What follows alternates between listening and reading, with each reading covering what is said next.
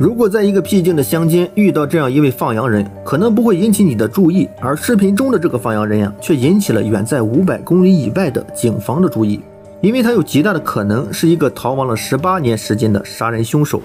那是一九九三年的五月十八日，内蒙古包头市土右旗的一位老汉报警称，自己的儿子王安新于五月九日的晚上离家后就失去了联系。随后，警方就在事发村外的一处荒地找到了被掩埋在地里的王安新。经过细致的侦查，发现邻村的一个叫朱六的村民有着重大的作案嫌疑。可是当时朱六早已经不知所踪，因为那个时候的侦查技术远不像现在这样的发达。尽管之后警方投入了大量的警力进行了长时间的搜寻，但是仍是没有查到朱六的半点线索。直到二零一一年十一月的一天，包头警方突然得到了一个重要的线索：一个匿名的村民举报说，这个朱六目前有可能正在山西养羊。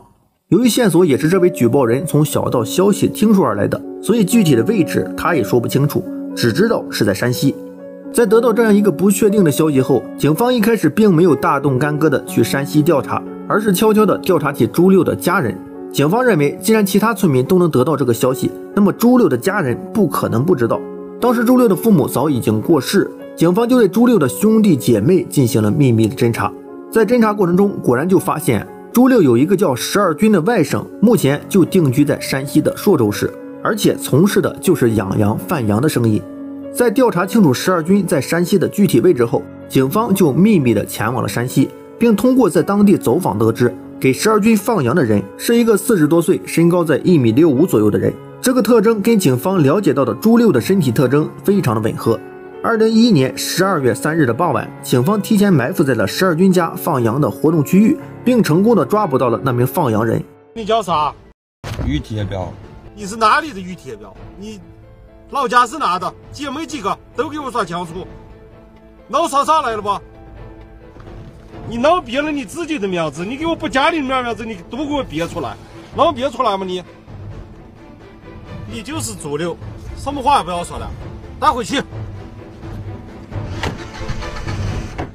尽管一开始这名放羊人还想试图蒙混过关，但是面对警方的审问，他最终承认了自己就是警方苦苦寻找了十八年的朱六。随后，他也如实的供述了十八年前杀害王安新的所有犯罪过程。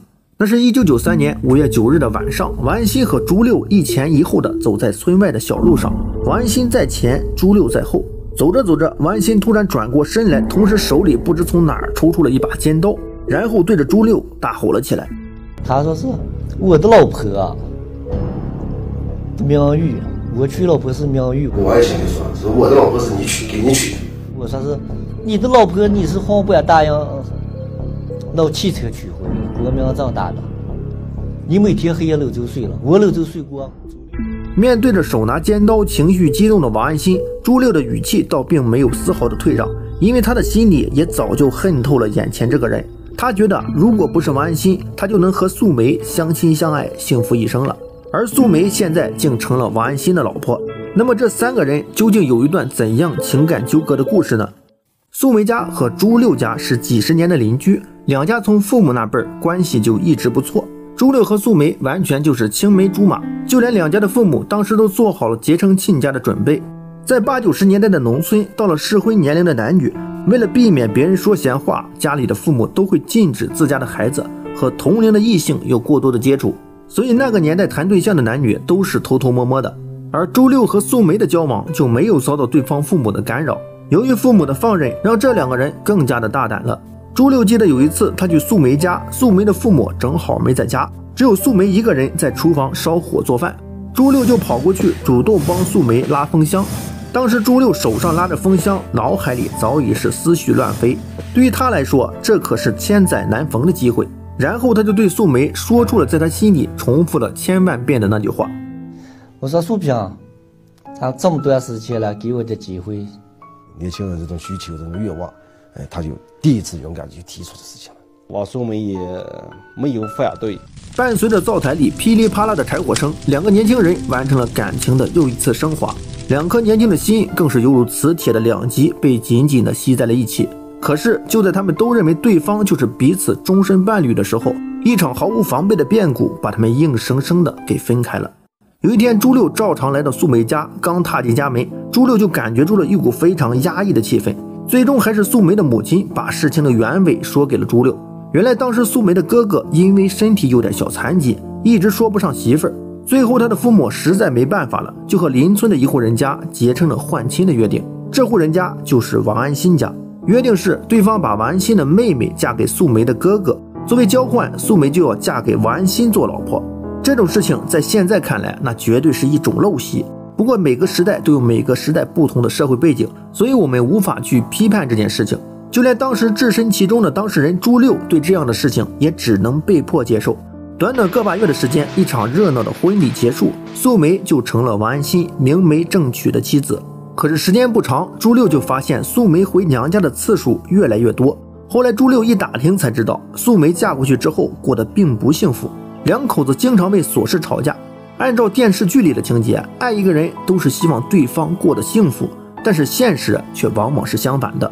朱六在得知这个消息的时候，心里就有种掩藏不住的窃喜，可能是压抑的时间太久，找不到人排解。后来有一天，素梅竟主动找朱六诉起了苦，这样一来，两人又旧情复燃。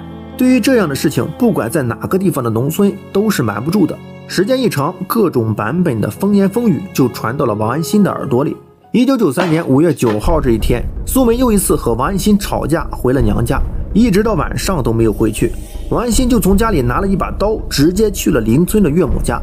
他的想法是啊，如果素梅在家就算了，如果没在，一定就是去找朱六了。那么当天的晚上，他就要为男人的尊严做点什么了。到了岳母家后，还没进门，王安心就听到了从屋里传出了素梅一家人的谈笑声。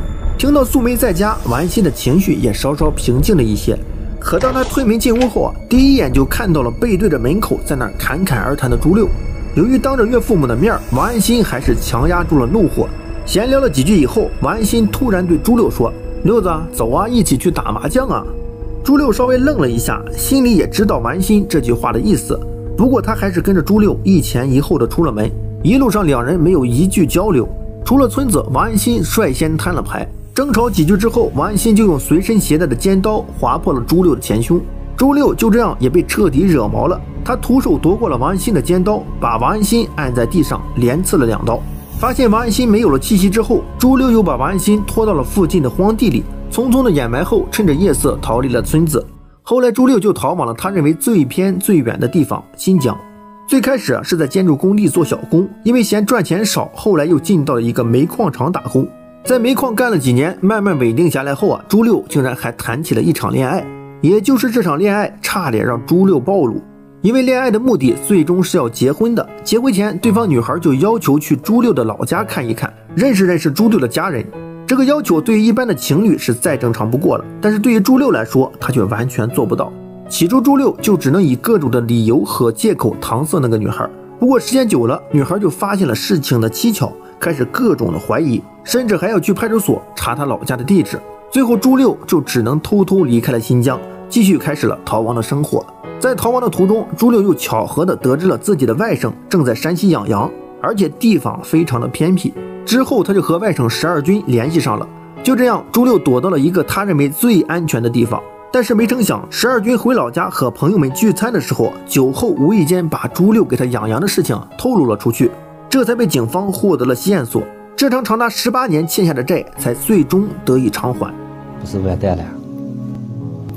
咱不动法律，动法律你这自首了。